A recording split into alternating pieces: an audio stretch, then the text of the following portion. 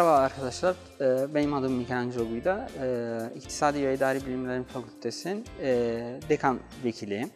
Ee, Bizim fakültemizde 2013'te e, kuruldu ve e, fakülte içerisinde 3 tane bölüm e, bulunuyor. Sosyal hizmet bölümü, e, ekonomi ve siyaset bilimi ve uluslararası ilişkiler. Ekonomi ve siyaset bölümü e, %100 İngilizce eğitim veriyor. Sosyal hizmeti ise e, Türkçe e, eğitim veriyor ama e, isteğe bağlı hazırlık Arapça veya e, İngilizce hazırlık okuma fırsatınız var. E, fakültemiz çeşitli e, Erasmus imkanı e, sağlıyor size.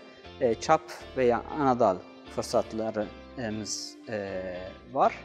İktisadi İdari Bilimleri Fakültesi bütün bölümlerde ve hazırlık programı e, Umraniye kampüsümüzde e, bulunuyor. E, ve e, erkek ve kız yurtlarımızın yani yürüme mesafede.